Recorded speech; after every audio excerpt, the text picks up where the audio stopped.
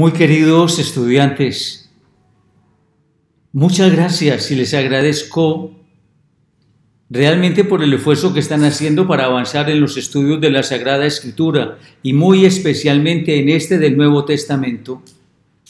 Estamos estudiando la comunidad cristiana en el Nuevo Testamento. En los 18 temas que están formulados aquí hoy vamos al número 14. El tema 14 es el Evangelio del Reino. Es un tema bien interesante. Como les dije en el tema anterior, estos temas nos están ocupando especialmente de cada uno de los evangelios y cuál es el acento.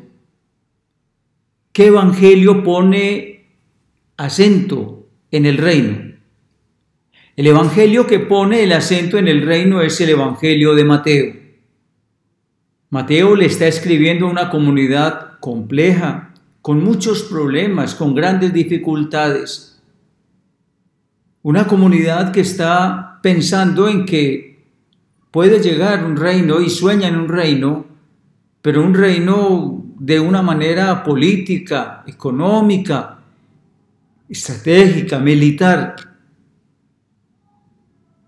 El evangelista les muestra que ese reino es el reino de Dios y que el reino de Dios se ha concretado en la persona de Jesús.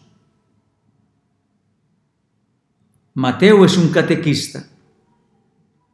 Es un catequista que tiene un buen manejo de la Sagrada Escritura y ayudado de esos elementos le escribe a la comunidad. Y se llama el Evangelio del Reino porque permanentemente está referenciando todo hacia el reino, el reino del Padre presentado en la persona de Jesús, reino que se manifiesta en la manera de vivir de la comunidad.